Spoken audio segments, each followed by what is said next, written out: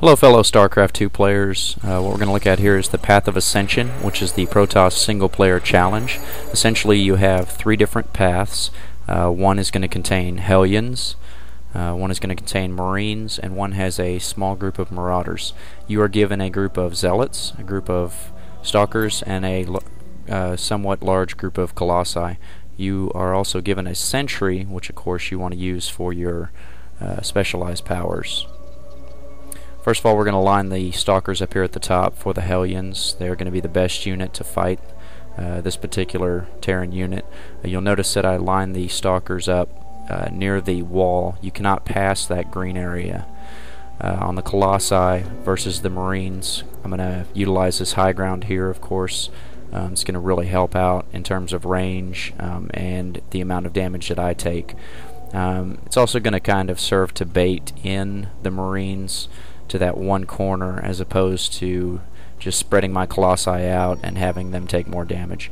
I'm over here on the Marauders. I'm going to group as close as possible to the front of this with the uh, sentry in the middle. Um, obviously, this is going to so be so that the Guardian Shield is going to protect the units as much as possible. Um, you definitely want to have that there. Um, the first thing you're going to do is the Hellions. Once you start the round, just move your Stalkers in position. Um, as soon as you see a Stalker begin to take damage, blink it backwards or up into that high ground section. Um, just keep an eye on how much damage you're taking. Obviously don't let your damage units get back too close if you don't blink them far enough away. Um, and the rest of the Stalkers are going to continue to do damage, uh, and you'll finish that round no problem. Uh, didn't lose a single unit there. On the Marines here, you'll see that the Colossi immediately start firing. Um, it's best to have them on hold, obviously, so they don't chase any Marines. Um, and you'll see the one on top begins to take a bit of damage, so I kind of retreat him a bit just so he doesn't continue to take too much damage and ultimately get destroyed. Here on the Marauders, uh, first thing I'm going to do is spawn an Archon Hallucination, then switch to Guardian Shield. Uh, right here I actually missed micro. I should have moved my sentry forward a bit sooner so that all the Zealots are covered. Um, I actually still did not lose a unit, fortunately, in this case. That's the first round. There are three rounds, a total of nine groupings of units you're going to have to fight. In round two, you're going up against Thors. Uh, you're given a group of carriers, which are going to be the best unit to attack them. You're also going up against a group of siege tanks, which do have siege mode enabled. Uh, that is a bit tricky on this particular round. And a group of battle cruisers, which are down at the bottom. Um, You'll notice that I line the carriers up close to the Thors. This is because the Thors actually have a range advantage over the carriers. Uh, the Thors range, I believe, is 10. Carriers are only 8. So the carriers are immediately going to have to move forward to do damage to the Thors. Uh, the Immortals here I'm going to line up um, just basically so they have a ability to get as to the siege tanks as quickly as possible. Up here at the down here at the bottom, uh, Void Rays, we're going to group those together, and I'm also given a High Templar.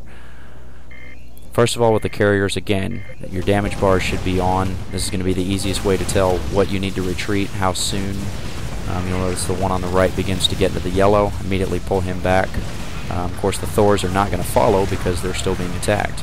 Uh, again, the one on the right begins to take some damage, so I'll pull him back as well. Um, by this point, can pretty much go ahead and move those two back into battle so far as they stay far enough away. Um, I begin to pull back a little bit. I wasn't really sure how many were left there. Uh, you obviously don't want to lose any units. That last Thor is going to fall pretty easily, and you'll notice that most of my units are still in fairly good health. Here on the siege tanks, again, they do have siege mode, so you need to get to them as quickly as possible.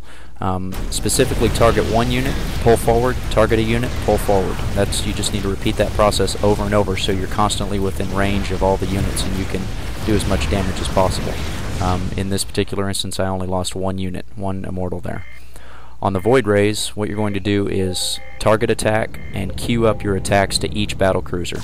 Then bring your uh, High Templar over, use feedback on all three units and retreat with him. Then retreat with each Void Ray as it takes damage. Once the Void Rays charge off the first unit, the second two units go down almost instantly. I did not lose a single unit there either. So far in the first two rounds, the first six sets of units, I've only lost one, uh, one of my units. On the last round here, uh, things get a bit trickier. You do get more units, um, but there is a a lot better mix of Terran units to go up against. Um, first of all, at the top, we're going to base, face uh, some battle cruisers, I believe, and are a single battle cruiser and a group of Vikings. For that, I'm going to use the Stalkers, the Phoenix, and uh, my single High Templar, obviously to use feedback on the battle cruiser.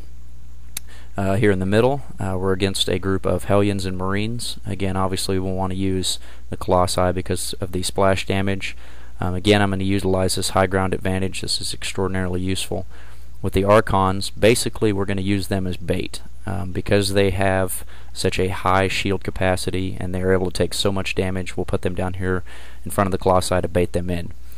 Here we have Marauders and Siege Tanks. They are extraordinarily powerful as a group and extremely difficult to go up against.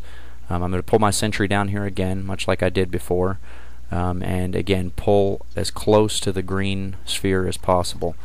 And that's going to be just to immediately begin attacking, do as much damage as possible before those tanks have a chance to siege up. Here versus the Vikings and the battle cruiser. The Vikings, of course, have a speed advantage, so they're going to get to you before the battle cruiser does. And because they're going against a ground unit, they automatically switch into assault mode. That enables your Phoenix to come up.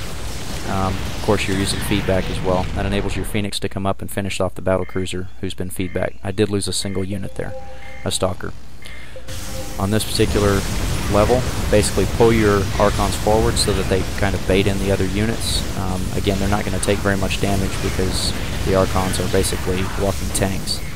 Um, the Colossi are going to ba basically do most of the attacking there. Now on this one I actually do admit a miss micro. Um, unfortunately, I did not control my Zealots nor my Sentry as much as I should have. The Zealots should be finishing off the Marauders while you get the Immortals in position to take care of the tanks. I actually lost either all or nearly all of my zealots here.